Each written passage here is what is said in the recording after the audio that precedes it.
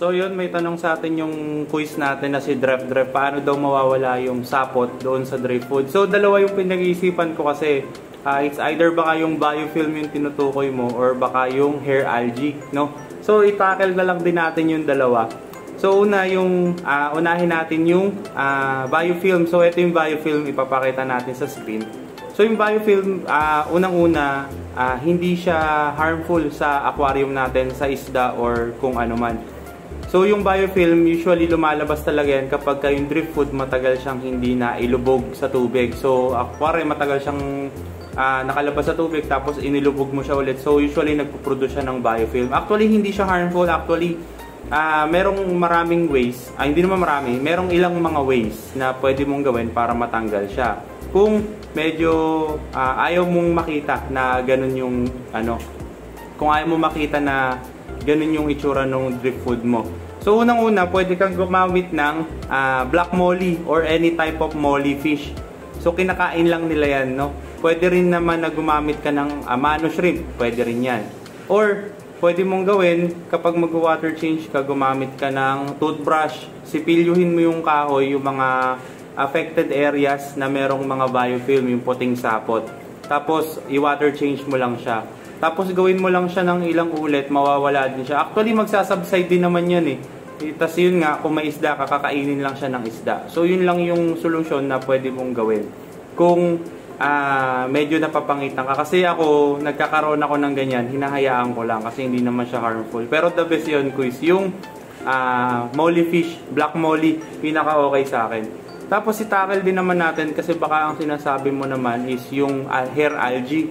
So yung hair algae quiz, marami ka ring marami ring possible ways na pwede mong gawin para ma-remove yan. Unang-una, pwede kang gumamit ng sipilyo.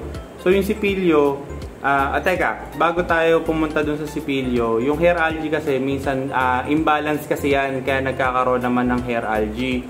So minsan too much nutrients plus yung too much uh, time duration ng ilaw mo kaya nagkakaroon siya ng imbalance. Uh, nutrients plus light so equals algae din. So marami ring factors nung ano maraming factors ng pagkakaroon ng hair algae pero ayun nga uh, doon muna tayo sa solution kung paano siya tanggalin. So unang-unang solution pwede mong gawin diyan manual removal.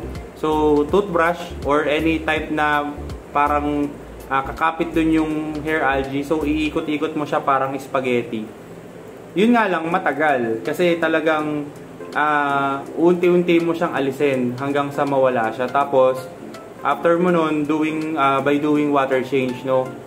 Kasi, uh, isang tips lang, yung algae kasi hindi nila kayang i-tolerate yung too much oxygen. Kaya di ba madalas nabubuhay sila sa warm water? Kasi pag warm water, mas madalas less or wala ng oxygen level yung tubig. Kaya nabubuhay. So, by doing water change, uh, nare-replenish mo yung oxygen level. So, doon nawawala or medyo nagsasubside yung algae. So ayun, kapag ka manual removal mo siya, then water change, possible ulitin mo siya ng ulitin hanggang sa mawala yung algae. Pangalawa, pwede kang gumamit ng amano shrimp. So ito yung amano shrimps.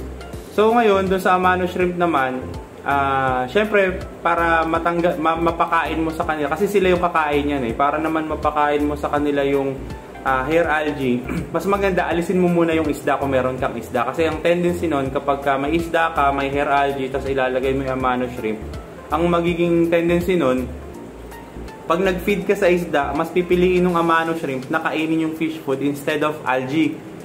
So, mas maganda, alisin mo muna lahat ng isda, tapos ilagay mo yung amano shrimp. Mas marami, mas maganda para mas yun yung kainin nila. Tapos huwag ka na mag-feed ng kahit anong fish food. Hayaan mong uh, kainin ng amano shrimp yung mga hair algae. Tapos, syempre kasabay nun, habang kinakain nila tulungan mo din sila, then water change ulit. Water change weekly ng 50%. Yun yung advice ko. Kasi si Amano naman, kaya nilang mabuhay or hindi sila masyadong na-stress kapag nag-water change ka ng 50%. So, yun yung pangalawang ano, pangalawang ways mo. Una, yung toothbrush, manual removal, water change, tapos amano shrimp, tapos water change. Pangatlo, yung last resort mo ko is kung hindi na talaga kaya. Kasi pwede ka pang ano yan eh, gumamit ng mag-spot dosing ng ano, uh, hydrogen peroxide. Yung hydrogen peroxide kasi, uh, pag sinabing hydrogen peroxide, yung hydro and oxygen. So water and oxygen. So mangyayari parang i-double dose mo yung oxygen level sa tank mo, no? So pag nag-water change ka, mare-replenish mo yung oxygen, ah, ganito muna. Mag alisin, ah, mag-dose ka muna ng hydrogen peroxide, babad mo siya ng 15 to 30 minutes. Kapag nababad mo siya, Siyempre, uh, mama, uh, parang makikita mo yun, pwede ka mag-spot dosing. Uh, pwede mong gawin, may meron kang syringe, ilagyan mo ng hydrogen peroxide yon tapos i-spot dose mo dun sa mga affected areas ng algae. Or kung yung, yung buong tank mo is affected na ng buong algae, pwede mo naman siyang i-dose na lang sa buong aquarium tapos magbukas ka ng maliit na submersible pump para mag-circulate yung tubig mo.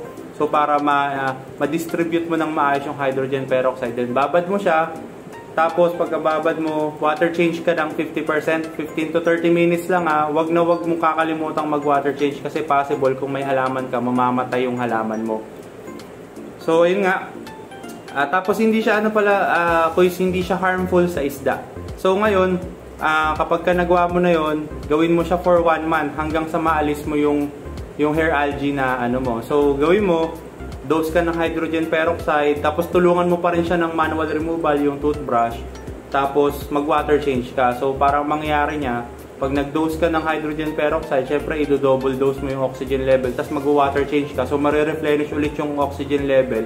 So, malaki yung chance na mabawasan yung hair algae mo.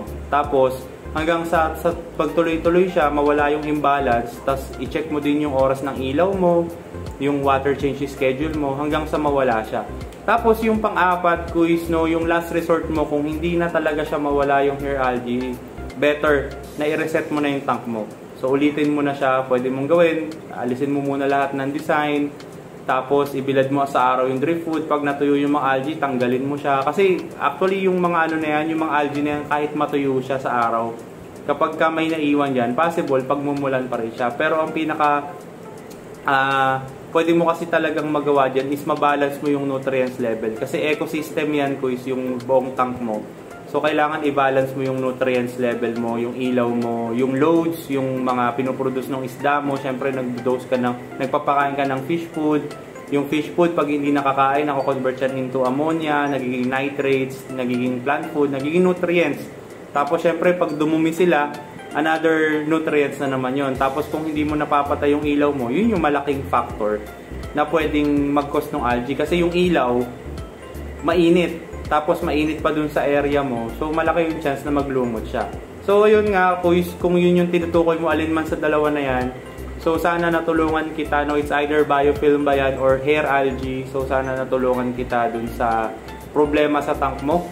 At ayun, maraming salamat sa magandang tanong mo at sana yung ibang nanonood dito eh, may natutunan din. Kaya ayun, maraming salamat sa tanong at maraming salamat sa panonood mga pamangkin. So ayun, hanggang sa muli, hanggang sa muling, uh, hanggang sa susunod na video. So ayun, Tito Tom out.